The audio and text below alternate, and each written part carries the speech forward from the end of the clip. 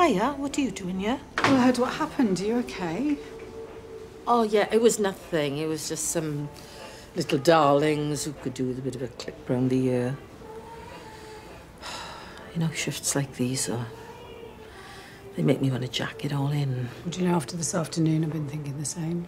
See, if my pension wasn't such a pittance, I'd go for early retirement. If I had more time, you know, perhaps things would get better with Gethin.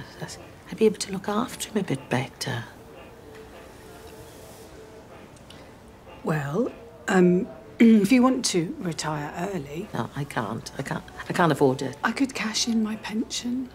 I've got an ISA squirreled away. Between us, we'd be fine. Maybe if we weren't working, we could have the pipe dream. Albeit, you know, the mini, the mini version. I'd love that. Me too. Can we get a dog? Jan Jennings, you always have to push it too far.